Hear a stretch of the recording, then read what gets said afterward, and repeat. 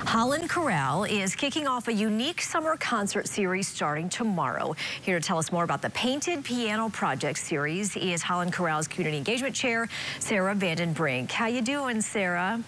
I'm doing well. How about yourself? I'm doing well, thanks. Okay, so these aren't your typical concerts. They're actually open mic style events. Tell us how that yes. works. Yes, absolutely. So we'll have some people who have volunteered from the community who have already said and expressed interest in performing. So they'll start the concert, but then once they're done, it's open to anybody, all ages, all abilities and talents. It's basically a community piano for our community to come together and make some music. How did the painted piano come about? Yeah, in the fall, the chorale uh, board had been discussing ideas for further community engagement and how to also develop uh, education in our community. And in doing so, we started thinking about these really neat painted pianos that we've seen in other cities and said we can do that right here in Holland, Michigan, in the Western Michigan area. And we started reaching out to different organizations. Uh, we asked local area artist Joel Skoontanis to paint the piano, which he did over the course of May and March and April this spring.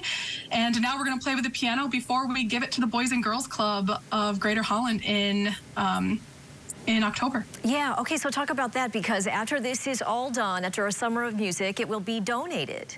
Yes, yes. Uh, I started playing piano when I was in elementary school, and I know how important it is to have access to an instrument from the very beginning.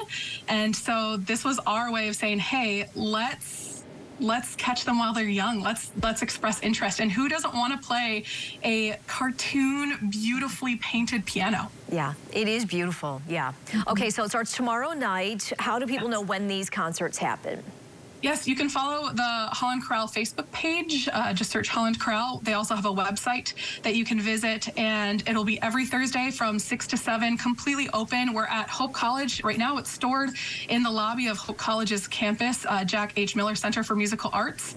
And you can honestly come anytime you want, but this will be a more formal, uh, available, open to the public event. Yeah, and have your song ready if you want to sing along. Yeah.